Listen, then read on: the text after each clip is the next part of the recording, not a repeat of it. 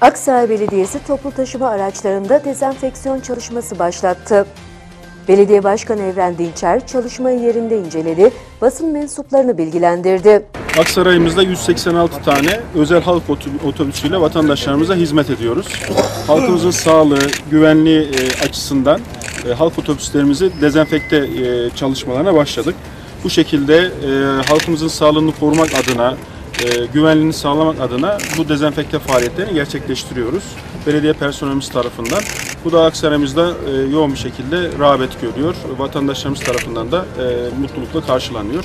Dezenfekte yaptığımız araçlarımıza da bu stikerleri yapıştırmak suretiyle hangi araçlar yapılıp yapılmadığını da kontrol altına alacağız. Tabii ki bu araçları kullanan vatandaşlarımız da araçla ilgili bilgi sahibi olmuş olacaklar. Aksaray'da ulaşım hizmeti sunan 186 toplu taşıma aracı püskürtme yöntemiyle ilaçlanarak virüslere karşı dezenfekte edildi.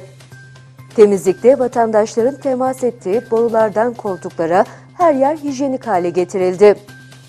Aksaray Belediyesi ekipleri toplu ulaşım araçları dışında ibadethaneler ve kültür merkezleriyle birlikte kamuya açık kapalı faaliyet alanlarında oluşabilecek mikrobik ve bakteriyel durumları önlemek için tüm önlemleri alıyor. Temizlik ve dezenfeksiyon çalışmaları rutin olarak sürdürülecek.